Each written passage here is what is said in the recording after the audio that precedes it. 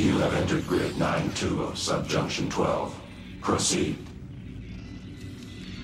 All right. We've analyzed one of the alien vessels.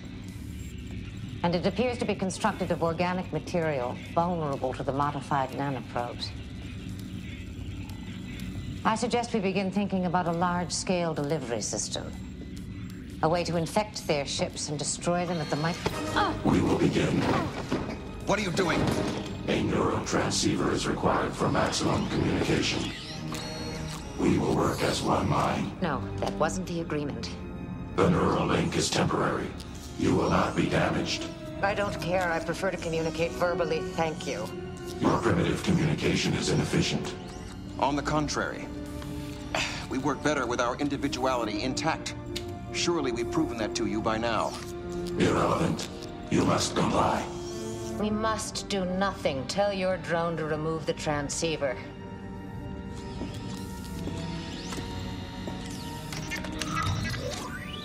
What about choosing a representative?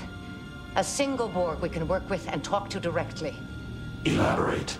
You've done it before, when you transformed Jean-Luc Picard into Locutus. We will not be assimilated. Choose a representative or the deal's off.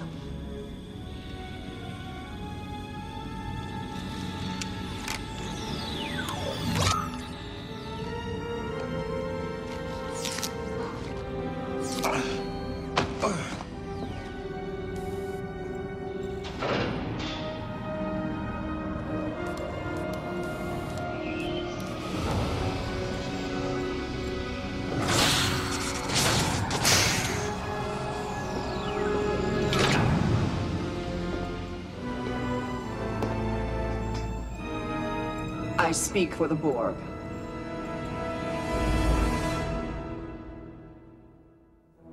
I'm Captain Janeway. This is Lieutenant Tuvok. We are aware of your designations. What's your designation? Seven of nine, tertiary adjunct of Unimatrix Zero One. But you may call me Seven of Nine. You are proposing a large-scale weapon. We concur. I thought you might. We could encase the nanoprobes in some of our photon torpedoes. In essence, turn them into biomolecular warheads. Your torpedoes are inadequate. They lack the necessary range and dispersive force. Do you have a better idea? We are Borg. I take that as a yes.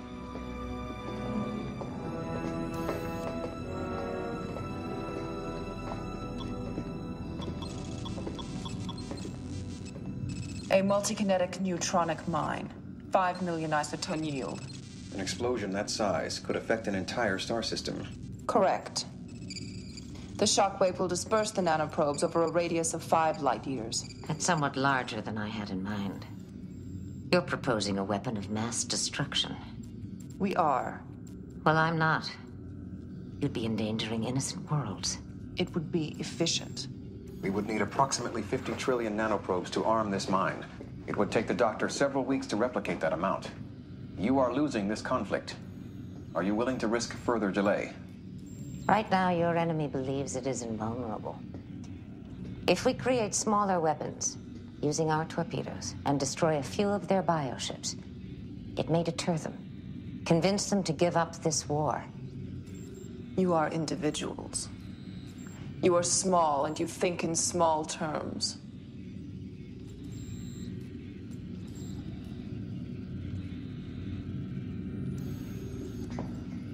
But the present situation requires that we consider your plan.